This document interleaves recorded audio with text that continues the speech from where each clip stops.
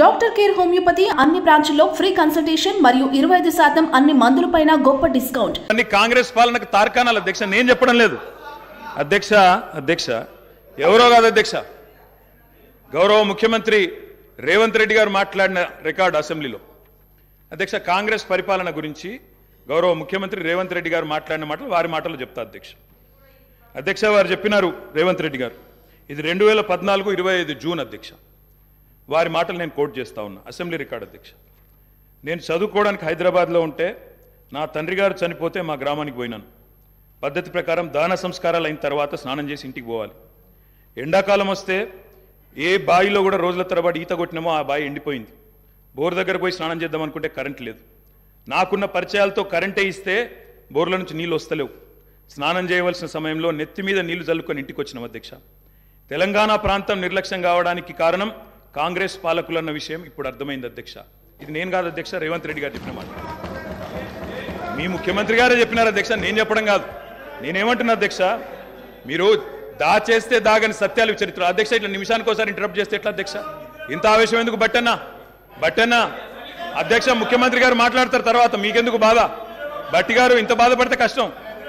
ఇంత బాధపడితే కష్టం. ఇందిరమ్మ పాలన గురించి రేవంత్ రెడ్డి గారు చెప్పిన మాట ఇంకా చాలా ఉన్నాయి రేవంత్ రెడ్డి గారు చెప్పిన మాటలు. చెప్పమని చెప్తా. అధ్యక్ష this is not right sir అధ్యక్ష you have to come to my rescue this is not right అధ్యక్ష ఇదేం అధ్యక్ష? అధ్యక్ష సీఎం గారు సీఎం గారు సమాధానం చెప్తారు అధ్యక్ష.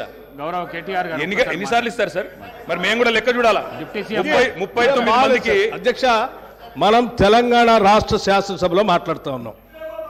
ఆనాటి ఉమ్మడి ఆంధ్రప్రదేశ్ శాసనసభ వ్యవహారాలు కాదు ఆనాటి ఉమ్మడి ఆంధ్రప్రదేశ్ శాసనసభ కాదు ఇది. ఇది ప్రత్యేక తెలంగాణ రాష్ట్ర శాసనసభ. ఈ శాసనసభ ఈ రాష్ట్రానికి సంబంధించి రెండు వేల పద్నాలుగు జూన్ రెండు నుంచి మొదలైంది. ఈ రెండు వేల పద్నాలుగు నుంచి ఈ రాష్ట్రంలో తీసుకున్న చర్యలు జరిగిన ఖర్చులు చేసిన అభివృద్ధి రాష్ట్ర ప్రజల ఆకాంక్షలు వాటి గురించి మనం మాట్లాడుకోవాలి. గతం అంతా బాగాలేదనే కదా అందరు కలిసి కొట్లాడి ఏకగ్రంగా తీర్మానం చేసి తెలంగాణ రాష్ట్రం ఇంకా అది చూపించి నేను వాళ్ళతో పోటీ పడతా అంటే నువ్వు కూడా వాళ్ళతో పోటీ పోటీ పడితే నువ్వు కూడా అట్టే పో మరి. ఏడెందుకు? తెలంగాణ రాష్ట్రం గురించి మాట్లాడండి. సార్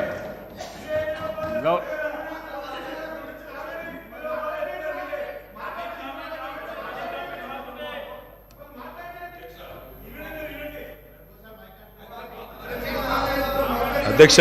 మాట్లాడండి.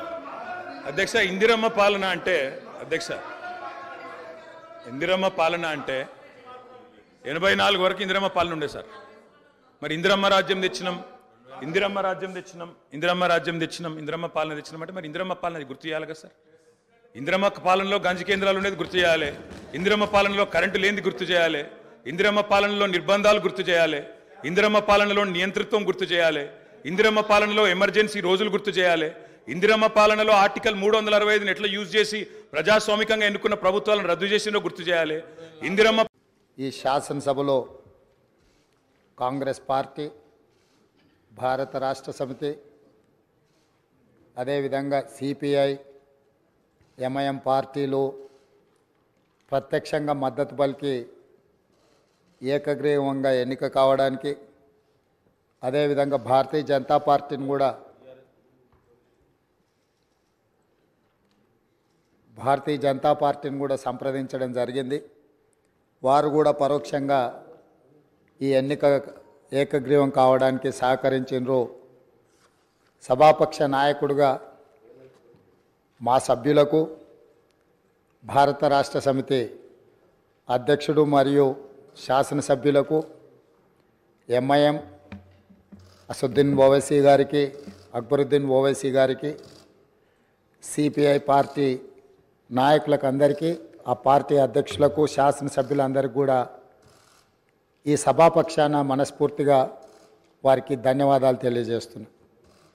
ఈ సభ ఒక మంచి సాంప్రదాయానికి మొదటి రోజే మనమందరము ఒక మంచి సాంప్రదాయాన్ని ముందుకు తీసుకెళ్ళడానికి అందరూ సహకరించడం ఈ సాంప్రదాయం భవిష్యత్తులో కూడా కొనసాగాలి.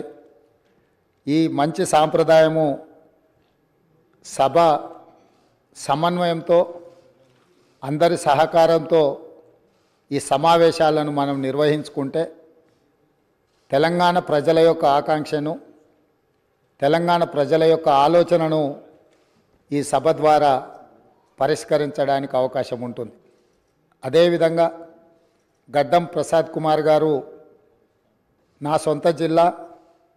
నేను ఎక్కడి నుంచి అయితే శాసనసభ్యుడిగా ప్రాతినిధ్యం వహిస్తున్నానో ఆ ప్రాంతం వాడు వికారాబాద్కి చరిత్రలోనే గొప్ప పేరుంది.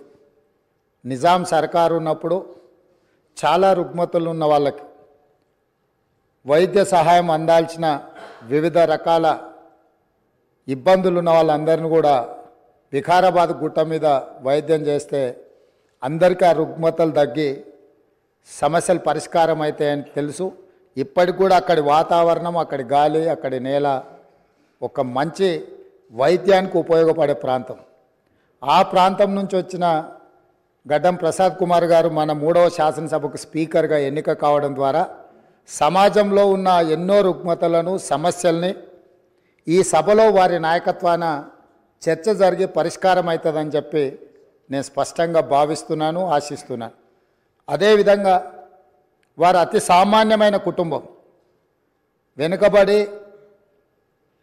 చిన్న వయసులోనే తండ్రిని కోల్పోయి కుటుంబ బాధ్యతను తీసుకొని ఎనిమిది మంది సోదరీమణుల మధ్యలో ఒక్కడుగా చిన్న వయసులోనే కుటుంబ బాధ్యతను భుజాల మీద వేసుకొని ఎనిమిది మంది ఆడపడుచులను సమన్వయం చేసుకుంటూ సమాజంలో కుటుంబం యొక్క గౌరవాన్ని నిలబెడుతూ ఏ లోటు రాకుండా సోదరీమణులందరినీ కూడా ఈ రోజుకు ఆ రోజు నుంచి ఈ రోజు వరకు సమన్వయంతో ముందుకు తీసుకెళ్తున్నాడు అంటే ఉమ్మడి కుటుంబం ఎలా ఉండాలి?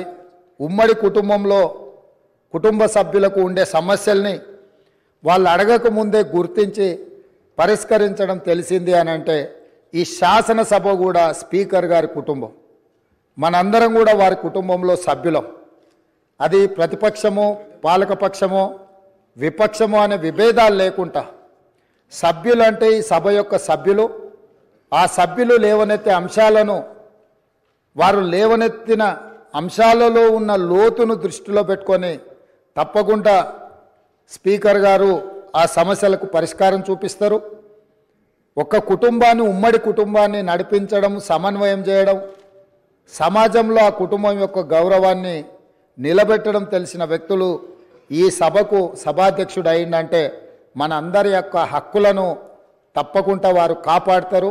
అదేవిధంగా వారు రాజకీయ ప్రస్థానం స్థానిక సంస్థలు ఒక ఎంపీటీసీగా వారి రాజకీయ ప్రస్థానం మొదలయ్యి అక్కడి నుంచి వారు ఎంపీపీ అవ్వడం రెండు వేల ఎనిమిది ఉప ఎన్నికలలో శాసనసభ్యుగా ఎన్నికవడం రెండు వేల తొమ్మిదిలో తిరిగి వారు శాసనసభ్యుడిగా ఎన్నికవ్వడం తర్వాత వారు మంత్రిగా సేవలందించడం హ్యాండ్లూమ్ వేవర్స్కి వాళ్ళకున్న లోన్లు కానీ లేకపోతే వాళ్ళ సమస్యలను పరిష్కరించడంలో క్రియాశీలక పాత్ర పోషించడము వారు మంత్రిగా ఉన్నప్పుడు వికారాబాదును శాటిలైట్ టౌన్గా గుర్తించి కీర్తిశేషులు పెద్దలు జయపాల్ రెడ్డి గారు అర్బన్ డెవలప్మెంట్ మినిస్టర్గా ఉన్నప్పుడు ఢిల్లీకి వెళ్ళి వారితో మాట్లాడి వికారాబాద్ పట్టణాన్ని శాటిలైట్ టౌన్గా గుర్తించి రెండు వేల రెండు వందల కోట్ల రూపాయలు మంజూరు చేయించి అక్కడ అభివృద్ధి కార్యక్రమాలను ముందుకు తీసుకెళ్ళి ఆ రోజు వారు అక్కడి ప్రజల యొక్క సేవలో వారు ముందున్నారు.